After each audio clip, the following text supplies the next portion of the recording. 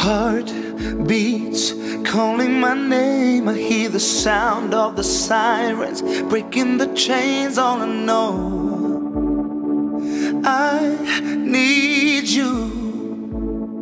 Uh, knocked out, drowning again, caught in the rip, and it's pulling me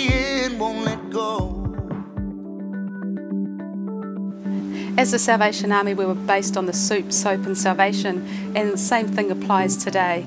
We make food parcels here each week, and we do between 120 to 150 food parcels out of our Royal Oak branch.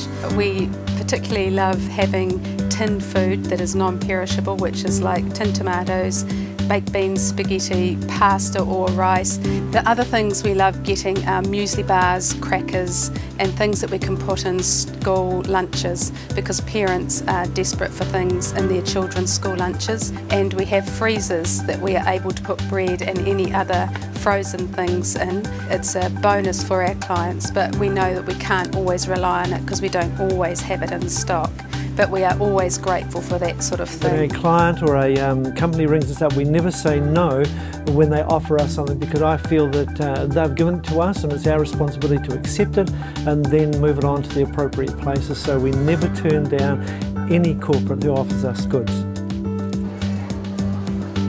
Countdown's food rescue program partners nationally with the Salvation Army, where we have over 130 stores signed up to donate product we couldn't otherwise use. These are the types of food parcels that we donate to the Salvation Army nearly every day. They come from both in-store product and donations from customers uh, in the food rescue bin. It's great that the Countdown Food Rescue Program can help many Kiwi families in need. A lot of families, they come, it's, they would have had to go through a budget, through our budget service, and, um, and they all have a budget sheet to say they're actually in the red. I had a client that needed to pay a bill off for over three weeks. So we were able to help that client for three weeks and, and, and just regarding giving them a food parcel just to help them out. I like working here because Salvation Army helped me when my children were little.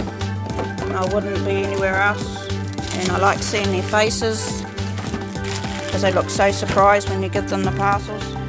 They always say, thank you, thank you very much, very much. It's like, yeah, okay, it's all right. Certain times of the year we struggle more than others. So February to sort of April are hard times for us.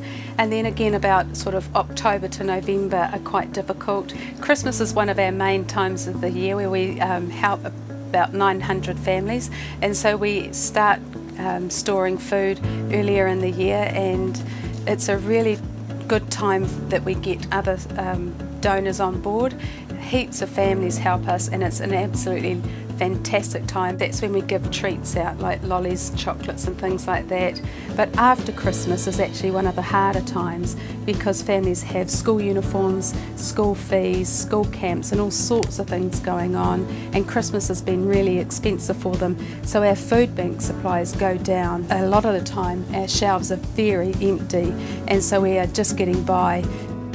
Salvation Army has been providing New Zealanders with food for over 130 years and nothing much has changed. In 2014 we're finding there has been huge demand so far and that's probably going to get even more drastic as winter is coming and the uh, incredible pressure on families with power bills and electricity, gas, um, so we'll be seeing a huge demand for our food parcels. We have people that come in and we meet them where their first need is, which is food.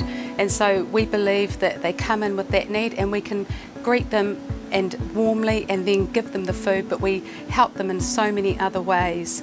And it is a lovely thing to see families grow and come back and build a relationship with our staff and our volunteers and actually develop and transform their lives. So we do make a difference in people's lives. So thank you, and we are very, very grateful.